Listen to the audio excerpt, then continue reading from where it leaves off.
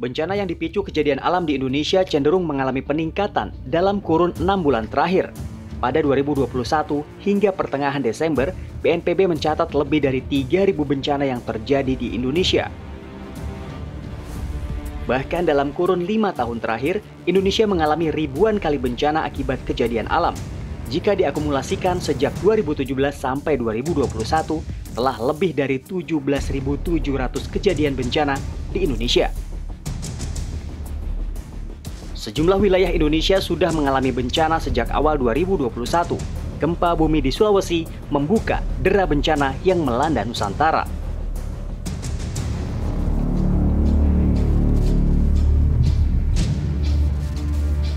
Beginilah evakuasi seorang gadis yang terjebak reruntuhan bangunan di Jalan Karel Satsu Tubun 3 saat gempa mengguncang Mamuju Jumat dini hari.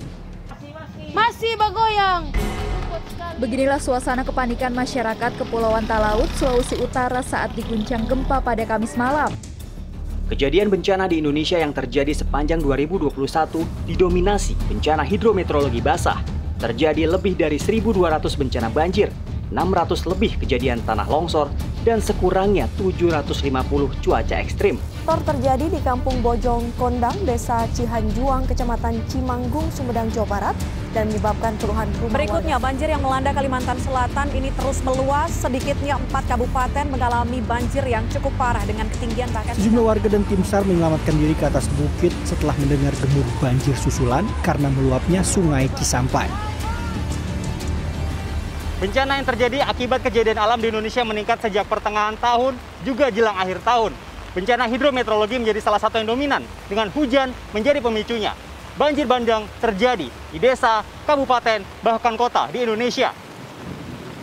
Banjir bandang yang diakibatkan oleh hujan dengan intensitas tinggi ini mengakibatkan puluhan rumah warga tertimbun lumpur. Inilah video detik-detik banjir bandang melanda Kota Batu, Jawa Timur dari data BPBD Kota Batu. Kerusakan dan kerugian akibat peristiwa ini masih dalam pendataan. Selain korban meninggal, belasan orang belum ditemukan hingga menjelang siang hari.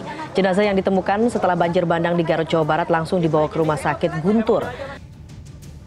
Tidak hanya bencana hidrometeorologi, posisi Indonesia di jalur cincin api juga membuat 3 per 4 wilayah di Indonesia berisiko terhadap bencana akibat erupsi gunung api. Sekurangnya 75 dari 127 gunung api di Indonesia dalam status aktif dan rentan erupsi. Sepanjang 2021, sejumlah gunung api menunjukkan gejala keaktifannya, banjir lahar dingin, erupsi, bahkan guguran kubah lava.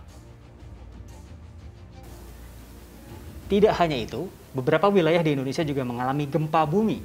Jelang akhir tahun 2021, Nusa Tenggara Timur, Maluku, dan sekitarnya diguncang gempa berkekuatan 7,5 magnitudo. Bahkan gempa yang terjadi di sekitar Laut Larantuka ini membuat BMKG mengeluarkan peringatan tsunami. Frekuensi bencana di Indonesia sepanjang 2021 memang lebih sedikit dari jumlah kejadian 2020 lalu. Namun, dampak dan korban yang ditimbulkan lebih banyak. Dari 660 korban jiwa yang tercatat akibat bencana selama 2021, Badan Nasional Penanggulangan Bencana menyoroti tiga kejadian bencana dengan dampak korban meninggal yang signifikan. Ya Allah, Allah. Allah.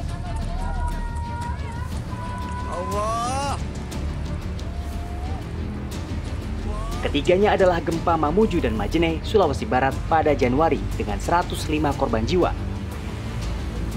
Siklon Seroja di Nusa Tenggara Timur pada April dengan 182 korban jiwa dan guguran kubah lava Semeru, Jawa Timur pada awal Desember lalu dengan 43 korban jiwa.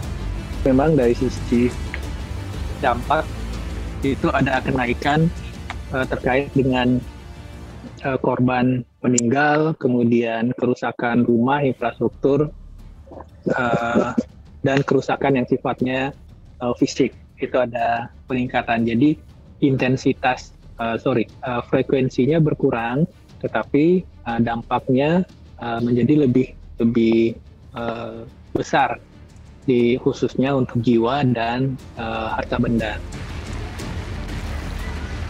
Tingginya frekuensi dan dampak bencana hidrometeorologi di Indonesia sepanjang 2021 sangat dipengaruhi kondisi iklim dan cuaca ekstrim. Anomali cuaca seperti curah hujan tinggi pun terjadi merata dari barat sampai timur Indonesia. Uh, secara umum merata, baik Indonesia bagian barat, tengah, dan timur. Tinggal waktunya silih berganti. Kantong yang kondisi lahannya yang paling rentan. Misalnya kalau intensitas hujannya kan kurang lebih sama ya, tapi kondisi lahannya ada yang hutannya masih hijau, lah uh, uh, apa ada yang sudah terbuka lahannya udah rusak.